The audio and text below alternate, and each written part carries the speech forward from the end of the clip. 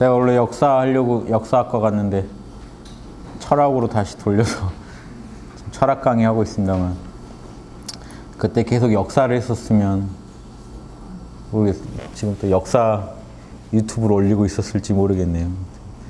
역사 가는 분들 중에도 제 강의 보시면서 좀 관점 잡아서 역사 하시면 참 좋을 것 같은데 저는 제가 주장하는 양심사관이라는 게 양심을 잣대로 이렇게 인류의 삶을 분석하지 못하면요 엉뚱한 역사가 나옵니다. 꼭 단순히 고대사 문제가 아니고요. 현대사를 분석해도 양심으로 분석하지 않으면 엉뚱한 결론이 나와요. 선악도 선악도 개판이 되고 역사라는 게 잘 살았는지 못 살았는지도 얘기가 나와야 되는데 그런 판단을 할 수 있냐는 거죠, 과연. 근데 옛날 역사학자들 대단합니다. 조선왕조만 해도요. 왕이 눈앞에서 하는 말을 신하들이 하는 말을 사관들이 쓰죠. 쓸 때 거기다요. 이제 평도 달아요. 이 짓은 말도 안 된다 이런 거 다 써요. 왜? 왕이 역사 못 봐요. 왕이 역사를 못 봐요. 그 사관들이 쓰는 평이요. 그분들 참 양심 분석 잘하는 분들이다. 왜냐하면 거, 그런 자리 하려면요. 과거 시험 되게 잘 봐야 돼요. 그러니까 공부 많이 한 분들이라고요. 그대로 쓰면서 사평을 탁탁 다는데 그거 보면요. 그 현장 분위기를 딱 알 수 있습니다. 저런 짓은 안 된다. 딱 이런 딱 달아요. 그 정도 할 수 있냐는 거죠, 지금. 양심 분석 훈련이 안 돼 있으면 그걸 못 해요. 옛날 어른들은 경전 공부를 다들 깊이 판 사람들이 그 자리 가서 그런 역할을 하니까 역사를 분석하니까 그런 걸 분석하죠. 그런 거 보면 안타깝습니다.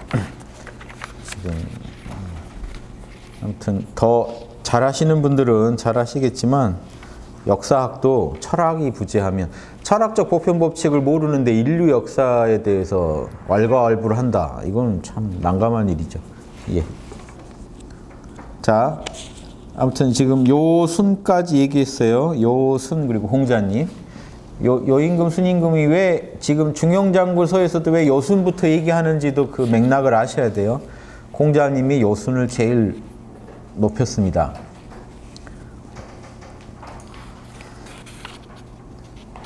그 봉호 선생님이 항상 이 부분 가지고 봉호 선생님이 얘기하시는 게 있어요. 봐라, 공자님도 결국 중국 역사 얘기할 때 요순을 제일로 왜? 자, 지금 여러분 중국 역사를 얘기할 때 황제부터 얘기하고 하는 거는 사마천 사기에서 나와요. 사기에서 그렇게 된 거고 공자님 당시에 중국 역사를 얘기할 때 황제부터 얘기를 안 하죠. 요순부터 얘기를 한다고. 서경이 누구부터 나오죠? 요순부터요. 자, 공자님 당시의 역사서에는 역사 시작이 누구죠? 요순이었어요. 요순. 중국 문명의 시작이 요순이었고 요순은 동이족이었어요. 이거 아셔야 돼요. 왜냐하면 지금 관점에서 고대사를 보시면 안 돼요. 공자님 당시의 뿌리는 요순이었다고요. 한나라 때 와서 사마천이 황제를 제일 앞에다 딱 붙였죠. 그렇죠? 근데 공자님 때는 서경을 봐도 어딜 중국 자, 본인이 공부한 역사서에서 뿌리는 요순이었다고 요순. 그런데 주역 개사전에 보면 복희 씨가 왕천하 천하의 왕노로 탈 때 하는 얘기부터 시작합니다. 주역에서는. 그러니까 공 선생님 봐라 공자님 때 다 요순을 중국 시조로 얘기하는데 복희 얘기가 나온다. 복희 신농이 나와요. 주역 개사전. 복희 신농 씨 얘기가. 뭐냐는 거죠. 복희 신농은. 복희 신농이 그렇게 문명의 시작이면 평소에도 복희 신농부터 얘기하셔야 될 텐데 공자님이 요순 얘기만 한단 말이죠. 복희 신농은 누구냐 하는 공, 공, 공 선생님 말씀이 그 양반들이 옛날 중국 문명 그 전에 그 동이 문명의 당군들이라는 거죠.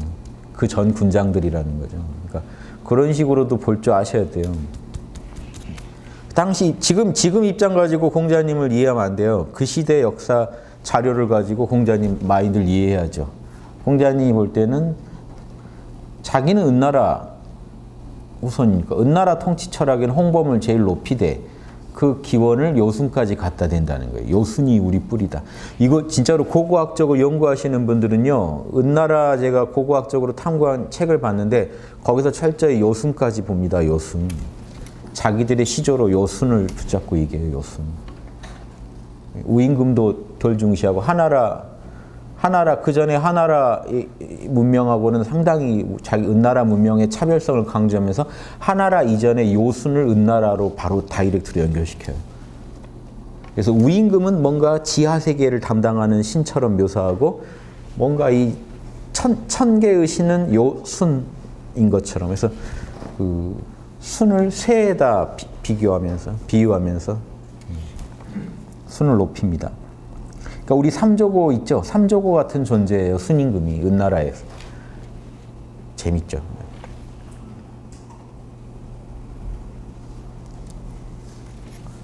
그래서 지금 요, 요, 요 글자가 순임금 뛰어날 준자 있죠.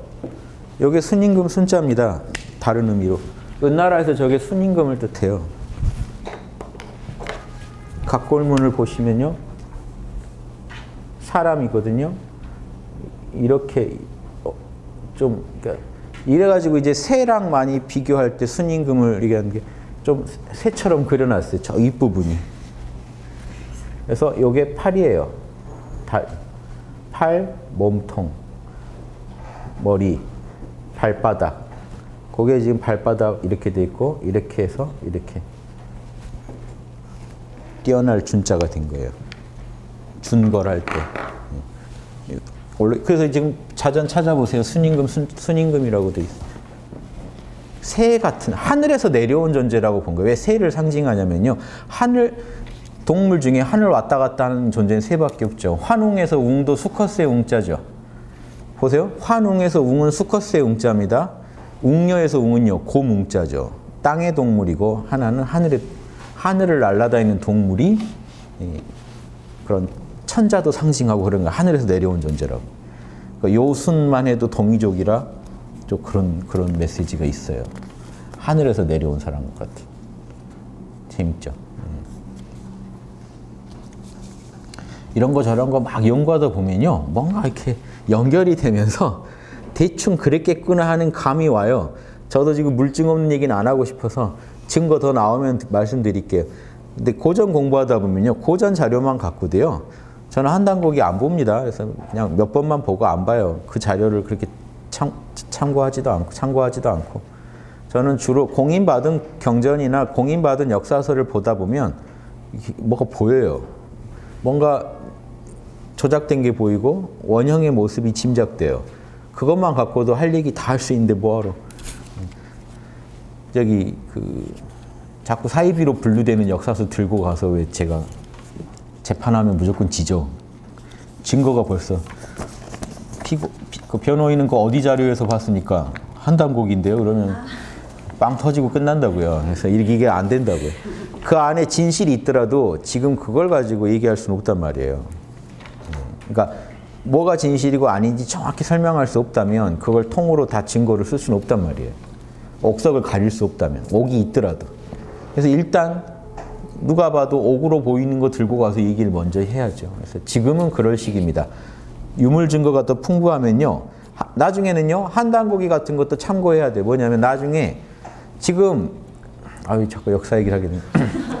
어떻게 연구를 해야 돼? 지금 유사 왜냐면 그 유사 역학이니 사입 역학 역사학이니 유사 역사학이니 그 모르는 사람들도 증거 갖고 얘기하는 게 아니에요. 왜? 한반도에 있는 증거 가지고 지금 그 막 지르는 거단 말이에요. 지금 만주 가서 중국이랑 공동 조사를 해봐야 돼요. 중국이 못하게 하잖아요. 저희 때 고고학 하는 친구들이 중국 들어가려고 했는데요. 중국에서 인력이 부족하니까 고고학을 채용하는데 한국인들을 별로 안 좋아합니다. 왜? 파다가 고구렵게 나오면 부셔버려요. 다시 그 자리에서. 밀어버렸다고요. 그 당시 제가 고고학계에서 들은 얘기만 해도. 그래서 그 외국에서 많이 인력을 요구하면서도 중국 이 한국 사람들이 가면 이게 시끄러워지. 그걸 봐도 안 되고. 그러니까 관광지도 되게 제한하고 중국이 한 이유가요. 이 자꾸 이거 보고 가가지고 저 고구려권에 뭐니 하면 중국 짜증나고 하니까 자기들 그 중화 중화민족 큰 그림 그려가는데 방해되니까 어, 그, 런 빌미를 안 만들려고 예전에 제약을 많이 했는데 요즘 좀 더 풀어준 건요. 동북공정 자기들이 시나리오를 짰거든요. 이제 스토리를 짰어요. 그러니까 이제는 좀 보여줍니다. 그래서 그거 보고 우리도 저도 봉호 선생님한테 만주 쪽에 그런 게 있다라고만 말만 들었지 본인이 젊었을 때 돌아다니면서 조사해봤다. 근데 홍산 문명 연구한다고 증, 그 결과물 내놓을 때야 조금 더 확증을 얻은 거죠. 진짜 저런 게 있었구나 하고 추측했던 게 있었구나. 신기하잖아요. 천부경 철학에 뭐라고 돼 있습니까? 삼천이 동그라미 하늘도 세 개고 삼지 땅도 세 개고 지금 이 3층 재단 그대로 나왔죠. 홍산 문명에서. 하늘에 제사 지내는 재단, 땅에 제사 지내는 재단 이게 딱 이게 돌로요. 3층으로 해가지고 만들어져 있는 거 그대로 발견됐거든요. 천부경에 삼천삼지라는 말이 나오죠. 그럼 이 이상하지 않아요? 신통하지 않아요? 음. 그런 거. 그러니까 지금 그, 그 나온 유물도 해석하려면요. 천부경 원리도 필요하고 할 거라는 거예요. 이런 얘기 하면은 역사 하는 분들이야 또 다른 사이비의 출연이다라고 하시겠지만, 예, 이게 그 제 말이 다 맞는 건 아닙니다. 아무튼 이런 이런 넓게 봐가면서 진실을 찾아 들어가야 되기 때문에 자료가 풍부해야 돼요. 다양한 사고도 열어놔야 돼요. 예, 그런 의미에서 저는 앞으로 역사하게 해야 될 일이 많아요. 즉 그리고 제일 좋은 게 중국하고 어떻게든 나중에 해서 중국과 우리 공통의 뿌리기 때문에 공동조사를 해야 돼요. 거기 가서 유물을 우리가 파보지 못하고 하는 소리는 다 헛소리라는 거예요. 쉽게 말하면. 한반도 안에서 모든 걸 설명하려는 시도도 헛소리고 무조건 대륙, 조선도 대륙에 있었다 이렇게 막 나가는 것도 그것도 무리한 얘기고 이해되시죠? 지금 만주 땅은 우리가 가서 제대로 파본 적 없으면서 뭔 유사역학이니 뭐니 그딴 소리를 어떻게 해요? 이해되시죠? 딱, 딱 그거 하나만 가지고. 만주 가서 자유롭게 조사해보고 그 결론 내렸으면 제가 인정하겠는데 아직 우리는 증거도 못 봤다. 실증을 논하기 전에 증거도 제대로 못 봤다. 이게 진실입니다. 증거도 못 보고 뭘 논하겠다는 겁니다. 우리.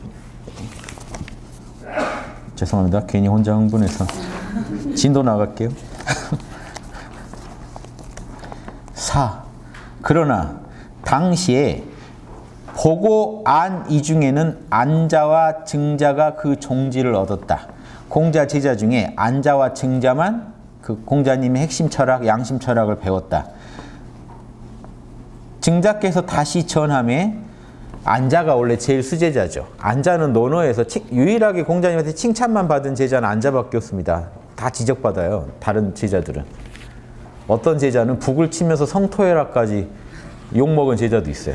그러니까 벼, 이게 공자 학당에 우리 홍익 학당 같이 공자 학당이 있었는데 고액 연봉에 스카웃이 많이 됐어요. 공자는 등용을 하기 힘드니까 워낙 거물이라 데려가면 그 나라가 제후국 들이 그 나라가 위계 질서가 엉망이 돼요. 그러니까 역학 관계가 있기 때문에 이미 기득권이 기득권들이 공자는 싫어하죠. 단 공자가 키운 그 제자들 양심 분석 잘하는 사단 분석 전문가들은 되게 원해요. 도움이 되거든요. 자기 나라 통치할 때 민심 달래고 할 때. 그러니까 그 전문가들을 스카웃 되는데 어떤 제자 하나가 스카웃 돼 가가지고 그 제후가 악행하는데 도와요. 막지를 못하고. 그러니까 공자님이 그, 저, 저 저놈은 성토해라. 욕을 해도 좋다. 하고 허락해주는 장면도 나오는 논어에 화끈한 깔 때 까는 분이죠. 제 까라. 부처님 안 그러실 것 같죠, 부처님. 부처님 막 온화하고 다 받아주시고. 부처님도 똑같아요. 그 초기 교단에서 왕따를 시켜요. 처벌이 왕따예요. 어, 누가 헛소리하고 그러잖아요. 그 교리에 대해서 잘못된 소리하고 자기 잘난 체하고 막 이러잖아요. 그러면 처벌이 이제 왕따입니다. 그 친구한테 누구도 멘토링을 해주면 안 돼요. 정보를 주면 안 돼요. 딱 차단해 버려요. 영적 정보를. 잘못했다고 반성하기 전에 뉘우치면 다시 풀어줍니다. 아니면 추방이죠. 그 승단에서 쫓겨나요. 그, 그거 안 하면 개판됩니다. 별의 별 사람이 다 와 있어요. 그래서 또 다른, 다른 교단, 당시 브라만 힌두교, 브라만교 교단에 있다 공부하다 온 사람들 있죠. 외도들, 외도 출신들은 일단 몇 개월은 그냥 뗏물 빼는 시간을 더 충분히 둡니다. 기존 선입견 버리는 시간을 충분히 둬요. 그 다음에 가르쳐 줍니다. 다 이게 철저한 그 규칙이 있어요. 학당 강의도요. 여러분이 이미 어떤 입장에 너무 빠져 계셔서 뭐 교회라든가 절이라든가 어디든 좋아요. 어떤 뉴에이지라든가 특정 입장이 너무 그 예, 지배되셔서 학당 강의를 들었을 때 계속 복잡하신 분들 있죠. 그런 분들은 빨리 오, 오, 오셔서 여기서 땜을 빼는 방법도 있지만 일단 요즘 유튜브가 좋으니까 유튜브를 충분히 한 몇 년 들으시면서요.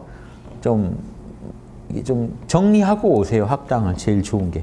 그래야 쏙쏙 들어와요. 학당 와서는 제대로 그냥 교육만 받으시는 게 실제로 예전에 부처님 교단도 다 그렇게 했습니다. 그 시간을 일정 시간을 둬요. 그냥 두고 충분히 그러니까 자기 거를 내려놓는 시간을 충분히 둬요. 안 그러면요.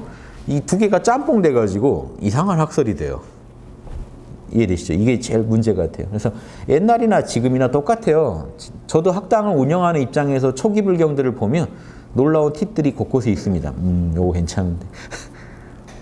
근데 여기랑 다른 게 거기는 들어오면 이제 사수를 붙여줘요. 그 상자니 뭐 이런 게요. 이게 딱 이게 붙여주는 거예요. 그 예전부터 전통이 그래요. 오면 누구 하나 붙여줘요. 은사 스님 뭐 이렇게 붙여주는 전통이 있어요. 그러니까 그냥 학당에도 오시면 해줄 수는 있어요. 이제 누구 멘토한테 주로 지도 받으세요 이런 겁니다. 근데 저희가 그렇게 안 하는 게 학당은 그렇게 하면 또 이게 또 현재로서는 부작용이 날 것 같기도 해서 그냥 안 하고 있습니다.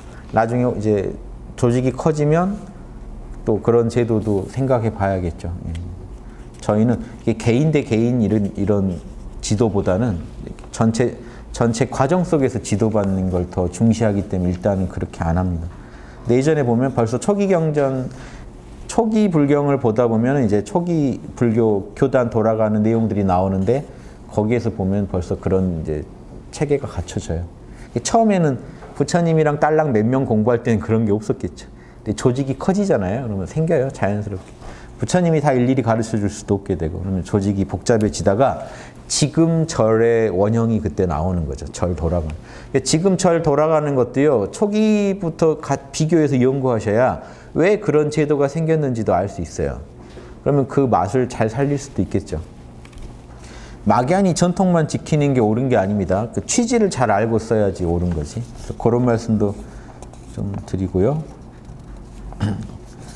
어, 이게 자꾸 방해하는 힘이 있습니다. 다시.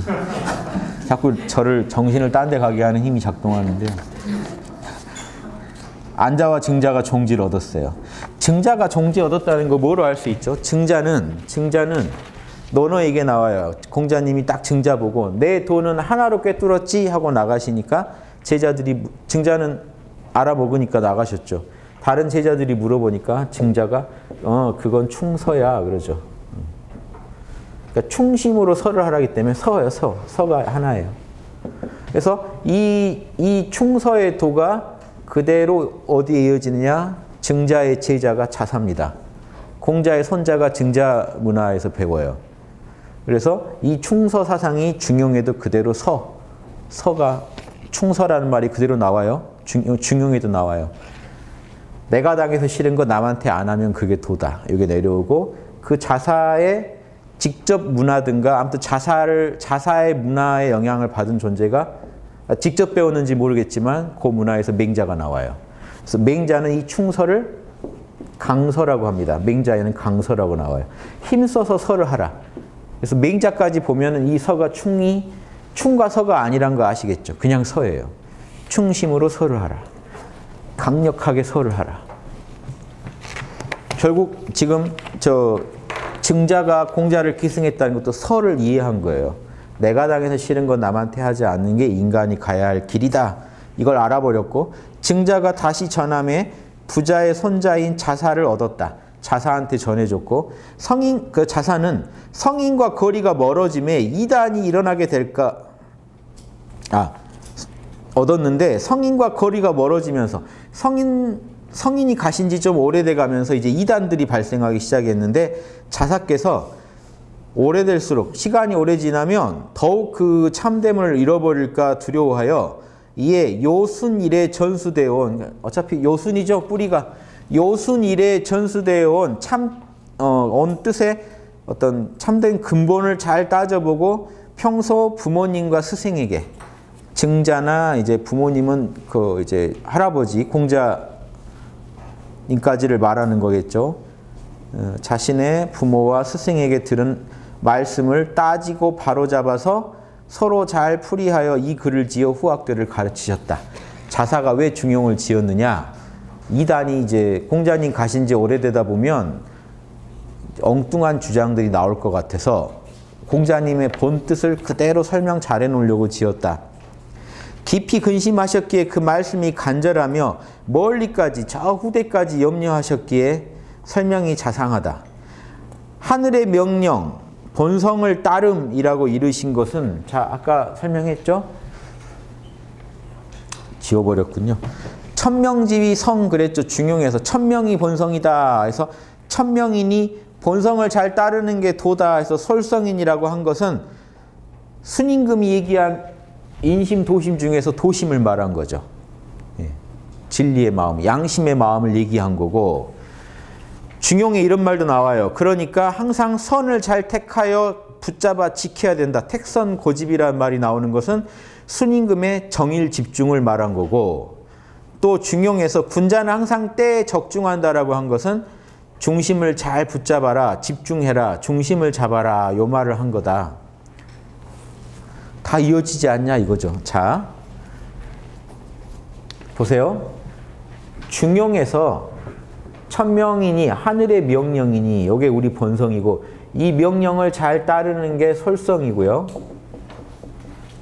천명이니 솔성이니 하는 거는 우리 도심, 양심을 설명한 거고 그 시중 항상 때에 맞게 중을 잡아라 라고 하는 거는 이 순임금 말씀 중에서는 집중을 얘기한 거고 정일은 뭐냐? 정일은 자, 이, 이, 이 펜이 안 나오네요. 자, 정일은 보세요. 택. 자. 네, 택, 선. 이 고집이죠, 고집. 요즘 고집이란 말을 안 좋게 쓰죠. 고집 부린다. 원래는 좋은 말입니다. 고집이 선을 택해서 진실로 붙잡아라. 굳게 붙잡아라. 그럼 자, 택선이 뭐겠어요? 정. 고집은요, 일. 선악을 잘 따져서 양심에 맞는 선을 붙잡는 게 정밀한 거고 끝까지 양심을 밀고 나가는 게 한결같은 거죠. 자, 이렇게 또 통하지 않냐 이거죠. 택선 고집이 정일이요. 중을 잡는다는 건 집중이요. 윤직골중이요. 천명이니 솔성이니 하는 거는 양심을 풀어준 거다. 세상이 떨어짐이 천여년에 일어나 자사랑 요순이랑 순임금이랑 천년이 되는데 그 말씀에 다르지 않으면 부절을 합한 것과 같다. 부절이란 거 있죠, 여러분? 요, 요거 예전에 나무나 옥이나 딱 쪼개면 그게 부절이에요. 쪼개서 주면 서로 딱 맞춰보면 딱 맞는 거 나중에. 어떻게 이렇게 천년이 지난 천년의 천여 년 이상의 사, 그 거리가 있는데 시간적 거리가 있는데도 둘이 딱 이야기가 딱 맞냐 이거죠. 방금 맞춰봤죠. 부절처럼 딱 맞죠. 서경에 실린 순임금의 가르침과 중용의 가르침이 상통함을 말합니다. 옛 성현들의 책을 선별하여 보건대 강령을 끌어주며 강령이라는 건 제일 핵심입니다. 핵심 핵심 뼈대를 딱 세워준다는 거예요. 고, 양심 공부에 뼈대를 세워주고 심오한 뜻을 열어 보이심이 양심 양심 공부에 아주 노하우들이 다 들어있다는 거예요, 여기에. 이 책만큼 밝고 또 남김없이 드러낸 책은 없다. 원래 이거는 그 책 서문에 항상 이 책이 최고라고 하죠. 저도 쓸 때마다 이 책이 나, 나 중에 뭐가 뭐가 답이다, 뭐가 답이다, 답이 너무 많아졌어요. 저도 아, 뭐가 답이야? 그래서 깨어 있음이 답이다, 막 몰라가 답이다. 막. 음. 근데 그만큼 이제 그렇게 강조할 만한 책 중에 하나다 이게. 그래서 그 실제로 주자가 죽기 전까지 다듬은 책은 대학이고요. 제가 볼 때는 대학을 대학 설명을 이제 주자가 잘 하셨죠.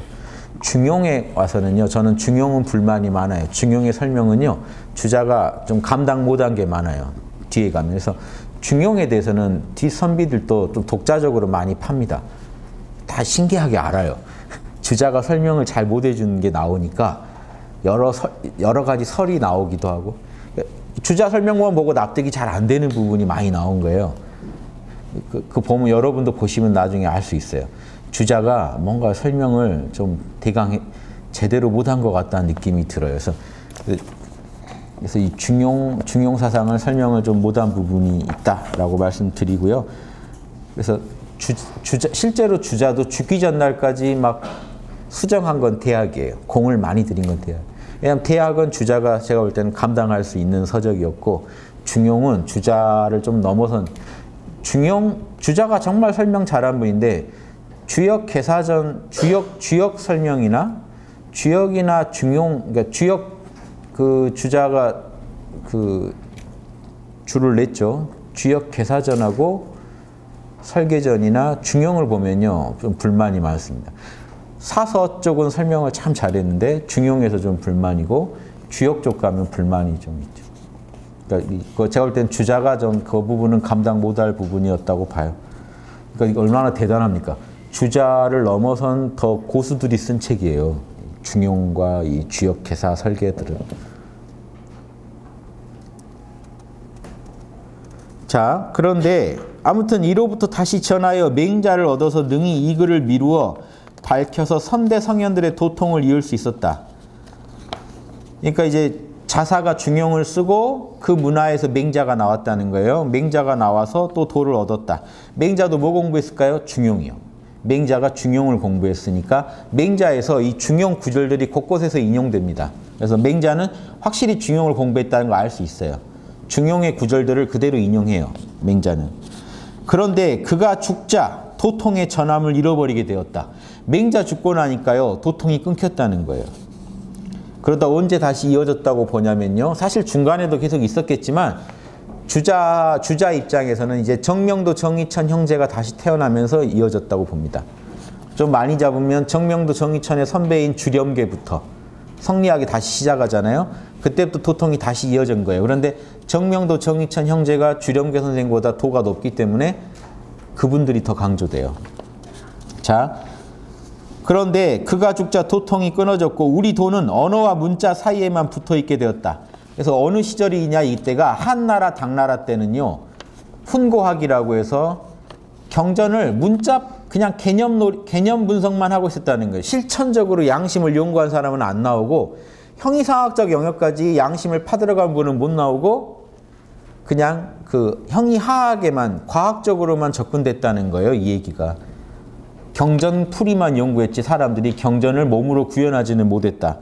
그래서 언어와 문자 사이에만 붙어 있게 되었다는 건 언어 문자에만, 문자에만 집착하는 학문이 이루어지다가 그런데 안타깝게 이 와중에 불교, 도교는 형이상학적으로 형이상의 세계를 설명하면서 이 참나의 세계를 설명하면서 유행했다는 거예요. 한나라, 당나라 때 유행을 해요. 그러니까 위기감이 크죠.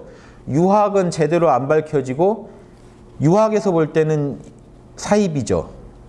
불도는 사입이죠. 왜? 형이상학의 세계를 얘기하면서 양심을 시원하게 얘기, 해주지 않기 때문에 사입이라고 보는 거예요. 그러니까 훌륭한데 뭐가 빠졌다고 보는 거예요. 훌륭한데 이니지가 빠지면 신비한 세계만 다루지 이니지를 얘기 안 해주면 사람들이 다 신비한 세계 소승적으로만 탐닉할 거 아니에요. 나름 그 문제의식은 맞습니다. 물론 저는 대승불교 이런 거는 아니라고 봅니다만 아무튼 소승 위주의 불교나 도교에 대한 비판에는 일리 있는 부분이 있어요. 주자의 비판이. 이단의 가르침은 날로 새로워지고 달로 성대해졌다. 도교와 불교의 무리가 출현함에 이르러서는 더욱 천리에 가까워져서 크게 참됨을 어지럽히게 되었다. 위기감이 더 커질만 하죠. 불도는 심오하거든요. 심오한데 소승적인 거예요. 심오한데 소승적이니까 이거 더 사람들을 현혹하겠구나. 아까 말씀드렸죠. 세상을 경영하는 건 어렵거든요. 근데 어려운 거를 어려운 거를 유학이 가르쳐 줘야 되는데 못 가르쳐 주고 있는데 세상을 떠나는 걸 가르쳐 주는 학문들이 나와 버리니까 이거 위기감이 커졌죠. 이거 심각했는데 그러나 다행히 이 글이 없어지지 않았다. 중용이 남아 있었다. 그러니까 도통이 이제 이어집니다. 정명도 정희천 두 정 선생님 형제가 부자는 선생님이에요. 정부자 선생님이 정부자 선생님은 아니고 강부자 선생님 정 선생님들이 출연함에 고찰한 바가 있어서 이분들이 딱 출연해서 중용을 연구하셨어요. 그래서 천년에 천년에 전수되지 못한 단서를 맹자 이후 끊겼던 도통을 이어줍니다. 이어셨다. 근거를 얻어서 이 양반들이 거의 이제 천여 년의 세월 이 간격이 있는데 도통을 다시 이었다.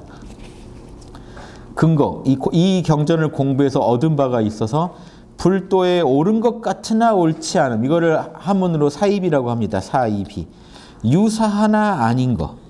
예. 그러니까 저는 대승불교는 유교랑 둘로 보지 않습니다. 다만 이제 소승적인 불교랑은 전혀, 전혀 다르죠, 사실은.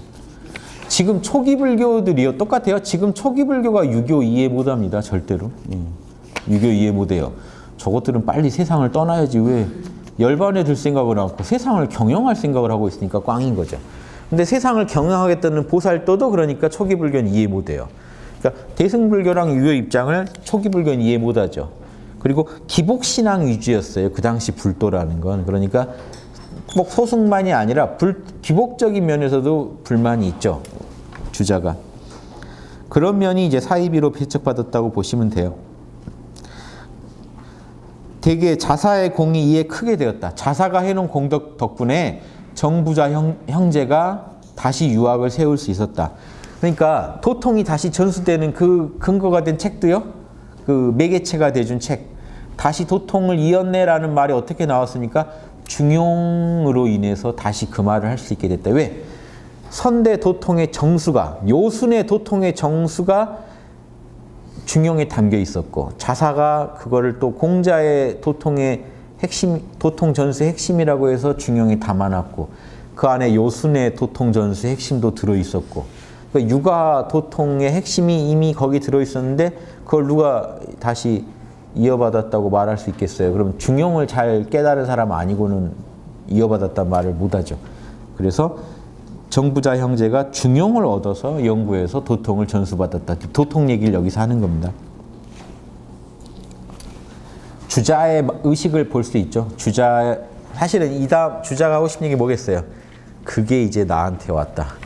내가 중용장구를 쓰는 거는 도통 계승자의 입장이다 이 말 하고 싶은데 저만 해도 이 말 할 수는 없잖아요. 제가 저자라 해도 돌려서 돌려서 하는 거죠.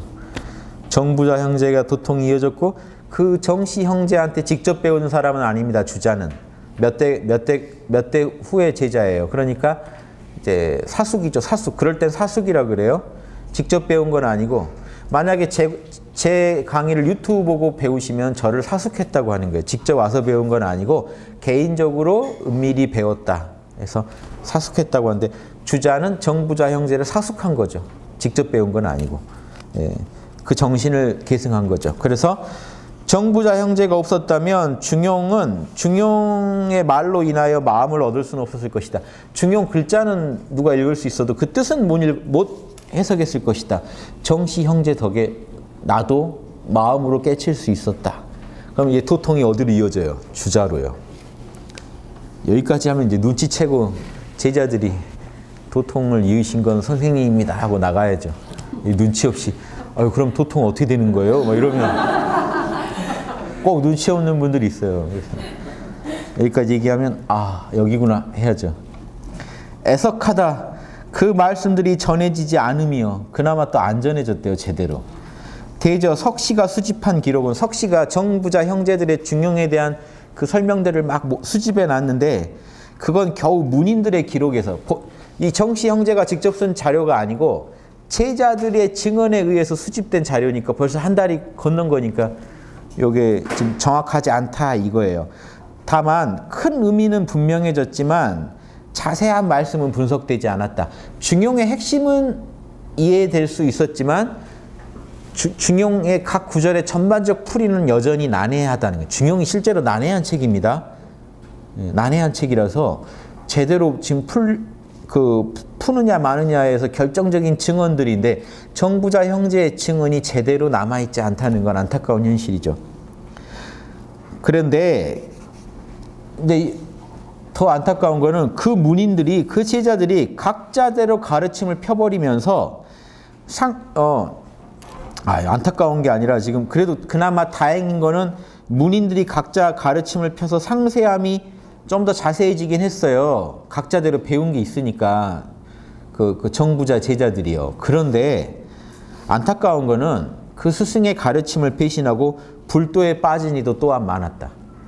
그러니까 그 당시에 유불선이 합일, 합일된 어떤 분위기가 있었던 거예요. 그러니까 중용을 공부하면서도 불도랑 접목시켜서 선과 접목시키고 이랬던 사람들이 나오니까 이 부분에 대한 비판입니다.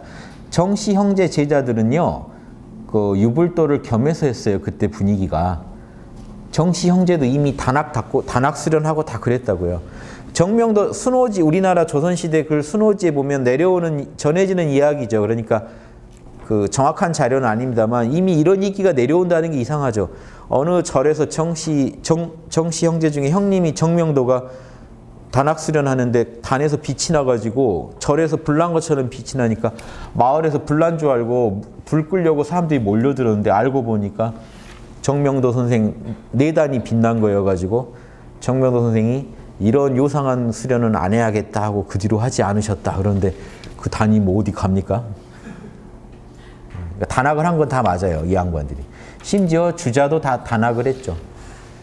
주자 증언에 자기가 주의 문, 주의 집에서 이렇게 주, 어류가 아니고 자기 문집에서 편직을 해. 10년 동안 젊었을 때 10년 동안 내 배낭에는 불도 서적만 있었습니다. 라고 나와요. 그러니까 그 당시 분위기가 유불선 다 공부하던 분위기예요. 근데 이, 이 양반들이 공부는 불도를 해놓고 유학으로 전향한 거죠. 그러니까 전향이라기보다 어떤 난 이제 유학자로 확실히 선언한 이후에는 불도를 배격하는 모양을 취합니다. 자기들은 그렇게 얘기해요. 어, 지금부터 내 얘기만 들으면 되지 내가 과거에 불도로 헤맸던 얘기를 들을 필요는 없지 않냐 이렇게 심지어 양명학을 창시한 왕양명도 젊어서는 불도를 공부합니다. 그러니까 이미 주자 이유는 유불선이 합쳐져 있다고 보시면 돼요. 그 중에 어느 쪽 입장이 더 강조되느냐 뿐이에요. 공부는 다 같이 하고 그래도 인의지를 나는 강조하겠다 그럼 유교하는 거고 나는 그 견성을 더 강조하겠다 그러면 불교로 가는 거고 나는 내단 수련을 강조하겠다는 도교로 가는 그 차이예요. 이미 이미 그 당시 송나라 때 도교 공부하는 사람도 유교 경전을 공부합니다. 이미 같이 공부해요. 그 전진파라고 있죠. 왕중양의 전진파. 영 보셨어요? 소설 영 보면 구척이의 스승이 왕중양이죠. 거기서 제일 고수로 나오지만 원래 전진파의 교주죠. 그때가 이 송나라 망하고 원나라 들어설 때잖아요. 그 시대적 배경이. 그때 왕중양이 전진교를 세울 때 유불선 합일이라는 게요. 노자 공부하면서 도교는 노자 공부하고 유교는 효경을 공부하고 불교는 반야신경을 공부합니다. 이 세 경전을 공부해야 돼요. 전진파에서는 무조건. 예, 그러니까 이미 도교에서도 유불선이 합열돼 있고 불교에서도 이미 유불선 그러니까 각자 자기 관점에서 유불선은 이미 종합되고 있다. 그 분위기는 아셔야 돼요. 그러면서 이제 이, 때 지금 불도를 확실히 배격한 이유는 난 유교 입장이다라는 얘기를 하는 거예요. 불도를 공부했지만 난 유교 입장이다. 난 어려서 일찍이 그 글을 받아서 읽고 은밀히 의심했다. 정부자의 글들을 자기는 보면서 연구해 봤는데 몇 년 동안 깊이 빠져서 반복적으로 이렇게 연구해 봤는데 한 아침에 아 이걸 번역할 때 하루아침으로 번역하면 안 되는 이유가 공부하다 하루아침에 깨달았다. 이러면 좀 하루아침에 깨달은 거잖아요. 이게 아니라 어느 날 아침이에요. 한 아침이라는 건 어느 날 딱 아침에 딱 꿰뚫어지기 시작해요. 이게 이제 화령관통이죠. 화령관통이 딱 이루어졌다. 하문으로 화령관통입니다. 일, 그래서 어느 날 아침에 화령관통이 딱 되면서 요령을 딱 얻었다. 그러니까 양질 전환이에요. 지식이 쌓이다가 지혜가 쌓이다 한번 큰 그림이 나올 때가 화령관통입니다. 이런 거예요. 청담동 가서 잘, 청담동을 서사시 구경하고 놀아요. 다음에는 압구정을 가서 구경하고 놀아요. 이 두 동네는 따로 있습니다. 그 사람 마음속에. 두, 나중에 지도 보고 놀래요. 옆 동네였다고? 예, 나중에 이제 이 두 동네가 하나로 딱 껴질 때 황홀하죠. 이게 활용관통이에요. 그러니까 부분 부분 자명한 것들이 어느 날 큰 그림으로 딱 맞춰질 때 퍼즐처럼 이게 활용관통이에요. 탁 꿰지더라는 거예요. 그 황당해요. 나 그 진짜 머릿속에 완전히 다른 동네로 있을 수도 있습니다. 하나로 딱 꿰뚫어지면서 감히 여러 설명을 모으고 그래서 자신이 생기니까 다른 설명들을 이제 모으고 절충해서 책 하나를 쓸 수 있게 됐다. 그게 중용 장구다. 그러다가 아, 만들어서 뒤에 군자를 기다리게 되었다. 내가 다 옳다고는 못하겠고 뒤에 군자들이 보고 바로 잡아주면 좋겠다라고 이렇게 겸손의 말씀하신 거예요. 그러다가 한두 명의 동지들이 다시 아까 말씀드렸던 석 씨의 글을 취하여 번잡한 것을 삭제하고 자 이제 자기 관점이 분명해지니까 정자가 남겼던 글들도 이제 정리해가지고 자기 글에 보충이 되게 또 교재 하나를 만들었고요. 그걸 집약이라고 불렀고 또 일찍이 논변하고 취하고 버린 뜻을 기록하여 자기 제자들이랑 문답한 거 이런 거 기록들 이게 그걸 참고해서 이제 홍문장이 예전에 홍문 홍문장이라 그래요. 홍문 홍문 스타일의 글은요 꼭 누구랑 문답한 게 아니라 혹자가 묻고 내가 답하는 방식이거든요. 근데 이거를 본인 혼자서 씁니다 보통. 근데 이 질문들은요 그 여러 제자들과의 문답에서 취해진 거죠. 다른 사람들이 궁금해 할 만한 걸 자기가 혹자가 돼서 묻고 자기가 대답하는 형식의 글 스타일이 홍문장이 스타일이 있어요. 근데 중용 홍문, 대학 홍문이 있습니다. 주자가 쓴 거. 거기를 보면 훨씬 자세해요. 왜 천명이라고 했느냐? 이제 더 세세한 질문들이 나와요. 이렇게 볼 때 천명과 설성은 또 어떻게 차이가 있느냐? 더 디테일한 질문들을 궁금해하는 걸 풀어주려고 홍문 스타일로 글을 쓰는 겁니다. 근데 이제 물론 그런 질문들은 여러 다른 사람들의 질문에서 취한 거겠죠. 그러니까 일찍이 논변하고 취하고 버린 뜻을 어떤 의견을 받아들이고 버리고 한 이 전 사정들을 홍문이라는 글을 만들어서 뒤에 또 부록으로 내가 붙였다. 그래서 중용 장구만 보지 말고 중용 홍문까지 보면 거의 완벽해지겠죠. 주자의 중용의 뜻에 완벽해진다는 게 아니라 주자가 중용을 어떻게 받는지는 완벽하게 설명이 됩니다. 그런 뒤에 이 글의 종지의 가지가 나누어지고 관절이 이해되었으며 이 글을 다 보고 나면 그런 뒤에 이제 중용의 가지와 관절, 가지와 각 마디들이 다 이해되었고 맥락이 관통되고 상세함과 간략함이 서로 이끌어주고 크고 미세한 것들이 모두 드러나게 되었다. 내가 이 책을 쓰고 난 뒤에야 중용이 완전히 까발려졌다는 거예요. 중용의 가지, 이렇게 가지, 그리고 가지들마다, 가지 안에서, 그러니까 중용이, 중용이 몇 개의 챕터로 나뉘는가가 각 가지들이에요. 그 챕터 안에 또 각각의 관절들이 있죠. 그 챕터 안에 각 꼭지들 이게 다 그래 그래 그런 어떤 구분들이 다 명확히 이해가 되고 맥락이 왜 중용이 전체 그 글을 이런 이런 식 순서로 글을 풀어가고 있는지 그 맥락이 다 설명이 되고 상세함과 간략함이 서로 도와주게 되었고 큰 얘기하는 거랑 미세한 얘기, 디테일한 거랑 큰 그 뼈대가 모두 드러나게 되었다. 그리하여 모든 학설의 각고 다름, 어둠과 이름이 이리저리 서로 통하게 되어 아, 참 말씀 많이 하십니다만 그냥 내가 그냥 다 까발렸다 이러시면 되는데 이거 아무튼 이런 이것 이 말씀도 되게 중요해요. 왜냐하면 각각의 상응할 만한 팩트들이 있는 거죠. 자기가 중용 분석할 때 이런 걸 상, 상, 상정하고 공부하신 거니까 모든 학설이 어떻게 갖고 다른지 무엇을 얻었고 어떤 학설은 뭘 얻었고 어떤 학설은 뭘 빠뜨렸는지 이런 게 다 중용의 모든 학설을 제대로 이해할 수 있는 중용 자체를 정확하게 이해할 수 있게 내가 도왔다 하는 거죠. 각각의 종지를 지극히 할 수 있게 되었다. 비록 도통, 도의 줄기는 도통입니다.